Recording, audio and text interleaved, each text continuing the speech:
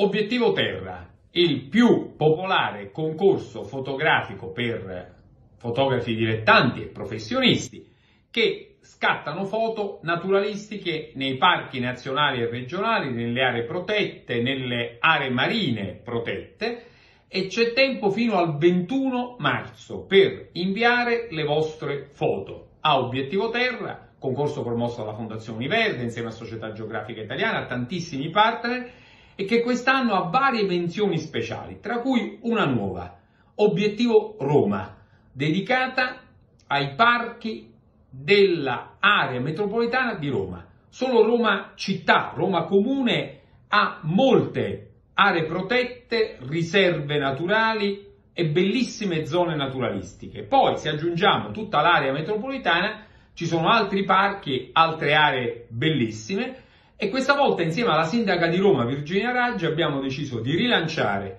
questa eh, menzione speciale che insieme alle altre, quella dedicata al mare con Mare Vivo, quella dedicata all'agricoltura con gli amici di Campagna Amica, arricchiscono questo concorso insieme al premio di 1000 euro che è dato alla foto vincitrice. Peraltro queste foto un tempo erano eh, esposte con una maxi affissione il giorno 22 aprile in occasione dell'Earth Day, quest'anno saranno proiettate e in ogni caso serviranno a festeggiare questo grande momento che è la festa della Terra, l'Earth Day del 22 aprile. Quest'anno abbiamo deciso di introdurre una menzione speciale Obiettivo Roma per le, i più bei parchi della capitale e dell'area metropolitana e ringraziamo la sindaca di Roma che ha sempre sostenuto perché Roma patrocina questo concorso fin dalla prima edizione e quindi veramente è importante far vedere anche le bellezze di Roma. Non solo è importante, è importante partecipare anche perché poi la foto vincitrice sarà proiettata su uno dei palazzi di Roma, quindi vi aspettiamo numerosi eh, per vedere le vostre foto e capire qual è l'obiettivo più bello di Roma. Bellissimo, e dentro il 21 marzo bisogna partecipare per poter concorrere.